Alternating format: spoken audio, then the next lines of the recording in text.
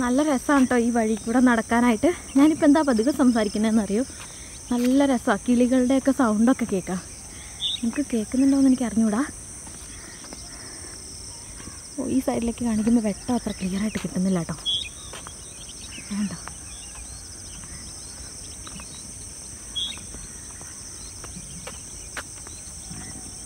Hello welcome back to our channel start with bits ഇന്നത്തെ video എന്ന് പറയുന്നത് സത്യത്തിൽ എനിക്കറിയില്ല കേട്ടോ.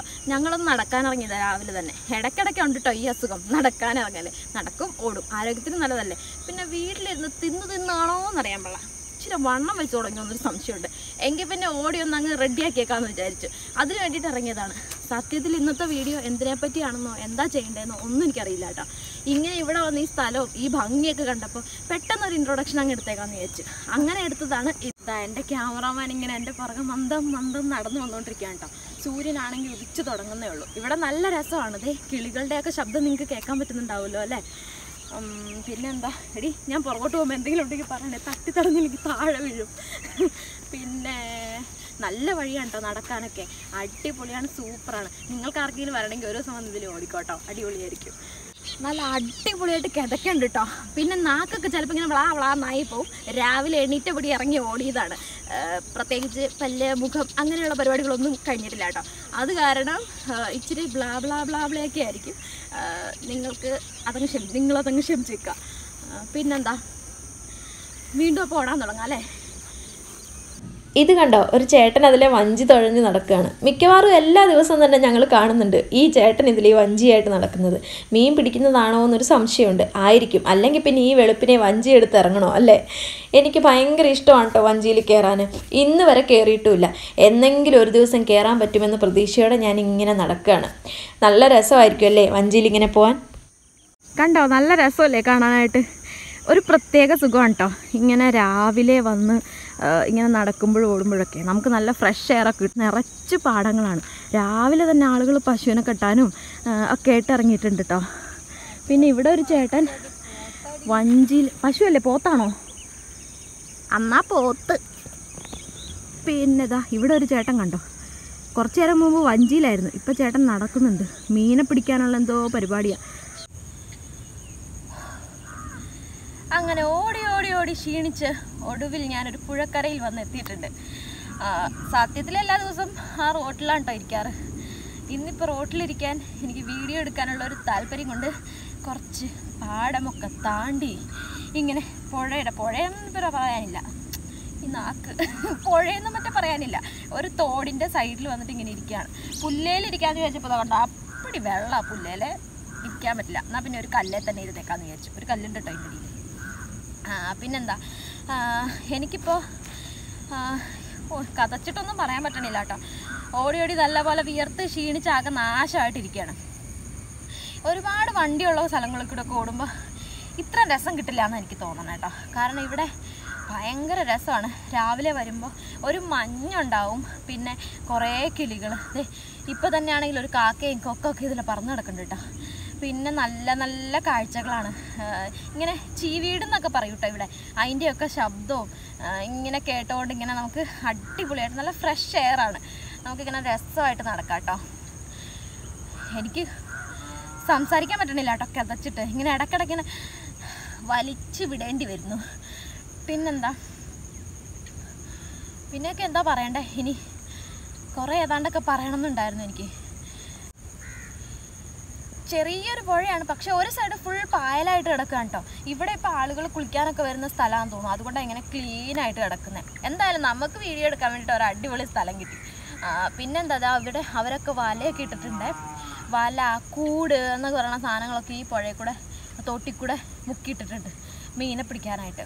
കുറേ ദിവസമായിട്ടോ ഇങ്ങനെ ഒരു ഇൻട്രൊഡക്ഷൻ എടുത്തു വെച്ചിട്ട് എനിക്ക് ഇതുവരെ ഒരു വീഡിയോ കിട്ടാൻ ഇടാൻ കിട്ടിയില്ല. അതിന് പറ്റിയതായിട്ട്. ഇന്നിപ്പോൾ എന്റെ ആന്റി വിളിച്ചിട്ട് പറഞ്ഞു എടി ഇവിടെ കുറേ കൂണിരിക്കുന്നുണ്ട് നീ വന്ന് എടുത്തുകൊണ്ട് പൊക്കോ. എന്നിട്ട് അടിപൊളിയായിട്ട് ഒരു കറിയൊക്കെ വെച്ചിട്ട് യൂട്യൂബിൽ ഇടാൻ പറഞ്ഞു. എന്നിട്ട് ആന്റി ഒരു ഐഡിയയും കൂടെ പറഞ്ഞു തന്നു.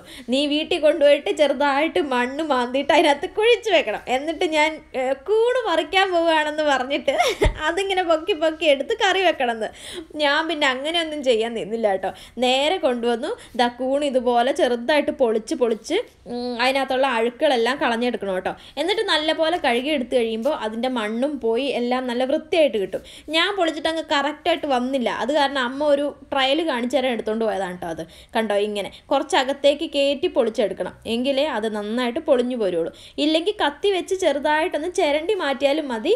നല്ല ക്ലീൻ ആയിട്ട് കിട്ടും. എന്നിട്ടൊന്ന് കഴുകിയെടുത്ത് കഴിഞ്ഞാൽ കൂൺ അവിടെ റെഡി ആയിട്ടുണ്ട് കറി വെക്കാനായിട്ട്. അപ്പോൾ ഇന്നത്തെ കറി എന്ന് പറയുന്നത് സാധാരണ വീട്ടിൽ വെക്കുന്നത് കുറച്ച് മഞ്ഞൾപ്പൊടിയും മുളക് പൊടിയും ഇത്തിരി അധികം വെളിച്ചെണ്ണയും ഇച്ചിരി ഉപ്പും കൂടി ഇട്ടിട്ട് നന്നായിട്ട് വറുത്തെടുക്കുകയാണ് ഡെയിലി ചെയ്യാറ്. പക്ഷേ ഇന്നത്തെ കറി വേറൊരു രീതിയിലാണ് കേട്ടോ വറുത്തരച്ച് നല്ല അടിപൊളിയായിട്ട്. എങ്ങനെയാണെന്ന് അറിയാൻ നമുക്ക് വീഡിയോ കണ്ടു നോക്കാം. കൂൺ ഇതുപോലെ ചെറിയ പീസുകളായി നുറുക്കിയിട്ട് കുറച്ച് മഞ്ഞൾപ്പൊടിയും കൂടെ തിരുമ്മി വെച്ചോട്ടോ എന്തെങ്കിലും വിഷാംശമൊക്കെ ഉണ്ടെങ്കിൽ പോയി കിട്ടും. ഇനി വേണ്ടത് കുറച്ച് സ്പൈസസ് ആണ്. കഷ്കഷ എടുത്തിട്ടുണ്ട്. പിന്നെന്താ ചെറിയ ഗ്രാമ്പൂ ഒരു രണ്ടെണ്ണം ജീരകം വലിയ ജീരകമാണ് കേട്ടോ പിന്നെ നമ്മുടെ ഏലക്ക തക്കോലം അങ്ങനെയുള്ള സാധനങ്ങളെല്ലാം കൂടെ കൂട്ടി കുറച്ച് കുറച്ച് വീതം എടുത്തിട്ടുണ്ട്. പിന്നെ ഒരു പിടി അരി എടുത്തിട്ടുണ്ട്. അത് കൊഴുപ്പിന് വേണ്ടിയിട്ടാണ് നല്ല കൊഴുത്തിരിക്കട്ടെ നമ്മുടെ കറി അങ്ങ്. ഇനി നമുക്ക് കുറച്ച് തേങ്ങ വേണം. ഒരു മുറി തേങ്ങ ചിരണ്ടി എടുത്തിട്ടുണ്ട്. ഇതെല്ലാം നമ്മൾക്ക് എത്ര കൂണ് കിട്ടുന്നോ അതിന്റെ അനുസരിച്ച് വേണം കേട്ടോ എടുക്കാനായിട്ട്. ഈ തേങ്ങ ചെറുതായിട്ടൊന്ന് വെള്ളം വലിഞ്ഞു വരുമ്പോൾ അതിലേക്ക് നമ്മുടെ അരി ഇട്ട് കൊടുക്കണം.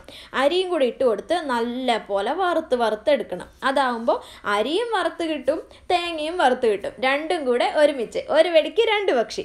തേങ്ങ ചെറുതായിട്ട് മൂത്ത് വന്ന് തുടങ്ങുമ്പോൾ ഒരു ടേബിൾ സ്പൂൺ വെളിച്ചെണ്ണ കൂടെ ഒഴിച്ചു കൊടുക്കണം കേട്ടോ. വെളിച്ചെണ്ണ ഒഴിച്ചു കൊടുത്തില്ലെങ്കിൽ എല്ലാം കൂടെ വേഗം അങ്ങ് കരിഞ്ഞു പോകും ഇതാകുമ്പോൾ എളുപ്പമുണ്ട്. കളറൊന്ന് ചേഞ്ച് ആയി എന്ന് കാണുമ്പോൾ പൊടികളിടാം. പൊടികൾ എന്ന് പറഞ്ഞാൽ ഒരുപാടൊന്നും ഇല്ല കേട്ടോ മല്ലിപ്പൊടി മാത്രം. ഒരു രണ്ട് ടേബിൾ സ്പൂൺ മല്ലിപ്പൊടി ഇട്ട് കൊടുക്കാം. പിന്നെ വേണ്ടത് നമ്മുടെ മസാലക്കൂട്ടാണ്. ഇനി ഇതുപോലെ ചെറിയ ചെറിയ പീസുകളായിട്ടുള്ള മസാലക്കൂട്ട് ഇല്ലെങ്കിൽ പേടിക്കണ്ട. നമ്മുടെ ബീഫ് മസാല ഇല്ലേ അതങ്ങ് ഇട്ട് കൊടുത്താൽ മതി. നല്ല ടേസ്റ്റ് ആയിരിക്കും ബീഫിന്റെ ഇനി നമുക്ക് മഞ്ഞൾ പുരട്ടി വെച്ചിരിക്കുന്ന കൂണെടുക്കാം. അതിലേക്ക് ഒരു ഒന്ന് ഒന്നര ടീസ്പൂൺ മുളക് പൊടി. അത് നിങ്ങളുടെ ഇഷ്ടത്തിനനുസരിച്ച്. എരിവ് കൂടുതൽ വേണോ? കൂടുതൽ ഇട്ടോ? ഇനി ഇതിലേക്ക് കുറച്ച് മഞ്ഞൾപ്പൊടിയും ഉപ്പും കറിവേപ്പിലയും കൂടിയിട്ട് നല്ലപോലെ ഒന്ന് തിരുമ്മി വെക്കണം. പിന്നെ ബീഫും ചിക്കനൊന്നും തിരുമുന്ന പോലെ തിരുമണ്ട കേട്ടോ. എല്ലാം കൂടെ കുഴഞ്ഞ് വെള്ളമായി പോവും. ചെറുതായിട്ടൊന്ന് തിരുമ്മി വെച്ചാൽ മാത്രം മതി. മഞ്ഞൾപ്പൊടി നേരത്തെ കുറച്ച് ഇട്ട് കൊടുത്തത് കൊണ്ട് ഇപ്പോൾ കുറച്ച് മാത്രം കൊടുത്താൽ മതി കേട്ടോ. അങ്ങനെ എല്ലാം കൂടി ഇട്ട് ചെറുതായിട്ടൊന്ന് തിരുമ്മി കുറച്ച് സമയം വെക്കാം. എന്നിട്ട് ഇനി നമുക്ക് കുറച്ച് വെള്ളവും കൂടെ ഒഴിച്ച് അടിപൊളിയായിട്ടൊന്ന് വേവിച്ചെടുക്കണം. അതിന് വേണ്ടിയിട്ട് ഇതാ ഇപ്പോൾ വെള്ളം ഒഴിച്ചുകൊണ്ടിരിക്കുകയാണ് എന്റെ വീട്ടിൽ ഇങ്ങനെ ഒരു പ്രത്യേകത ഉണ്ട് കേട്ടോ ഏത് പാത്രത്തിലാണ് എടുത്തത് ആ പാത്രത്തിലേക്ക് തന്നെ വെള്ളം ഒഴിച്ച് ഒന്നങ്ങ് കലക്കി ഒഴിക്കും. അതാണ് പതിവ്. ഇനി നമ്മൾ നേരത്തെ വറുത്ത് വെച്ച തേങ്ങയും അരിയും മസാലയും എല്ലാം കൂടെ ഒന്ന് അരച്ചെടുക്കണം. നല്ല അടിപൊളിയായിട്ട് നല്ല കുഴമ്പ് പോലെ അരച്ചെടുക്കണം കേട്ടോ. ഈ കുഴമ്പാണ് നമ്മുടെ കറിക്ക് ഒരു കൊഴുപ്പൊക്കെ കൊടുക്കുന്നത്. എന്നിട്ട് ആ വെന്ത് വരുന്ന കൂണിലേക്ക് ഇത് കുറച്ച് ഒഴിച്ചു കൊടുക്കണം. കുറച്ചല്ല കംപ്ലീറ്റ് ആയിട്ട് ഒഴിച്ചു കൊടുക്കണം. എന്നിട്ട് നല്ലപോലെ ഇളക്കി കൊടുത്തോ. ഇപ്പം നോക്കുമ്പോൾ ഒന്ന് ഒരുമാതിരി കുറുകിയിരിക്കുന്നത് പോലെ തോന്നുന്നില്ലേ? വെള്ളം കുറവായതുകൊണ്ടാണ് കേട്ടോ അങ്ങനെ ഇരിക്കുന്നത്. ചിലപ്പോൾ അങ്ങ് അടിയിൽ പിടിക്കുകയും ചെയ്യും. അപ്പോൾ കരിഞ്ഞും പോവും. അതുകൊണ്ട് വേഗം നമുക്ക് കുറച്ച് വെള്ളം കൂടെ ഒഴിച്ചു കൊടുക്കാം. വീണ്ടും പഴയതുപോലെ തന്നെ. പാത്രം കഴുകി ഒഴിക്കലാണ് പതിവ്. ഇത്തിരി ചൂടുവെള്ളം കൂടിയാണെങ്കിൽ നല്ലതായിരിക്കും കേട്ടോ എന്നിട്ട് നല്ല പോലെ ഇളക്കി യോജിപ്പിച്ചെടുക്കണം. ഇപ്പോഴും കാണുമ്പോൾ വെള്ളം കുറവ് തന്നെയാണ് വെള്ളം എത്തിയിട്ടില്ല. അതുകൊണ്ടാണ് കേട്ടോ കണ്ടോ ഇപ്പോൾ വെള്ളമൊക്കെ ഒഴിച്ചു കൊടുത്തിട്ടുണ്ട്.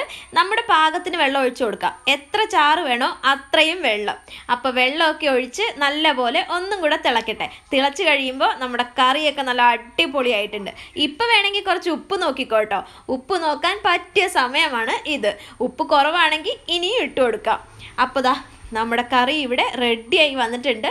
നല്ല കുഴമ്പ് പോലെ ഒഴിച്ചൊഴിച്ചെടുക്കാൻ പറ്റുന്ന അടിപൊളി ഒരു കൂൺ കറി ഇവിടെ റെഡി ആയിട്ടുണ്ട്. ഇനി ഞാൻ കുറച്ച് തിന്നു നോക്കട്ടെ. എന്നിട്ട് അഭിപ്രായം പറയാട്ടോ. ഒരു കാര്യം കൂടെ പറയാനുണ്ട്. ഇപ്പൊ കുറച്ച് വെള്ളം അധികം ഒഴിച്ചോട്ടോ. എങ്കിലേ കുറച്ച് സമയം കഴിയുമ്പോൾ നമ്മുടെ പാകത്തിന് കുറുകി കിട്ടുള്ളൂ. ഇപ്പൊ വെള്ളം കുറഞ്ഞു പോയാൽ കുറച്ചുകൂടെ കഴിയുമ്പോൾ കുറുകി കുറുകി ഒരുമാതിരി വറുത്തരച്ച ഉണ്ട പോലെ ഇരിക്കും. ഈ കറിയുടെ ക്രെഡിറ്റും അമ്മയ്ക്ക് തന്നെ പോട്ടെ. ഞാൻ വെറും ക്യാമറാമാനായിരുന്നു അമ്മയാണ് എല്ലാം ചെയ്തത്. കൂൺ ജസ്റ്റ് നിങ്ങളെ കാണിക്കാൻ വേണ്ടി ഒന്ന് പൊളിച്ചു കൊടുത്തു. അത്രേ മാത്രം.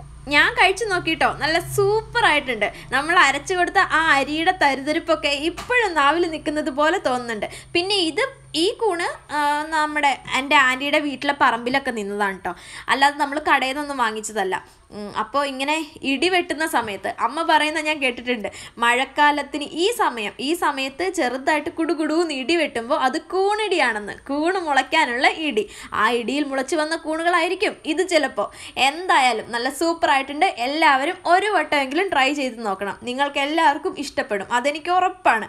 എന്നിട്ട് ചെയ്ത് നോക്കിയിട്ട് എനിക്ക് കമന്റ് ഇടാനും മറക്കരുത്.